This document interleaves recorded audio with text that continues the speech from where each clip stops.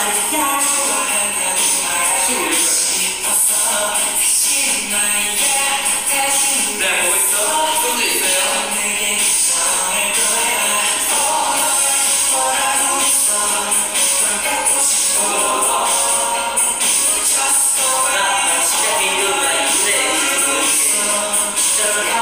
보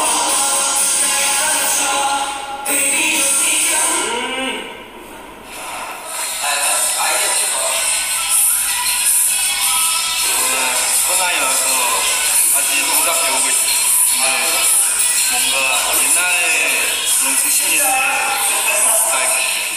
처음 이렇게 배우라서 되게 좋았어요. 근데 힘들어요. 너무 힘들어요. 여러분 진짜 오늘 엄청 열심히 하고 있거든요. 맨날 열심히 해요. 아 맨날 열심히 하지만 오늘 더 열심히 해. 왜냐면 뭐 오랜만에 막도 만났고 해찬 만나고 진호도 만났는데 선배잖아 이제. 그래서 힘좀 빼는 모습을 보여주면 안 돼. 형 저보다 더 선배예요. 아니야 나는 얘기했잖아. 이 팀은 내가 형이지만 네가 나보다 더 형. 아, 맞아, 맞아.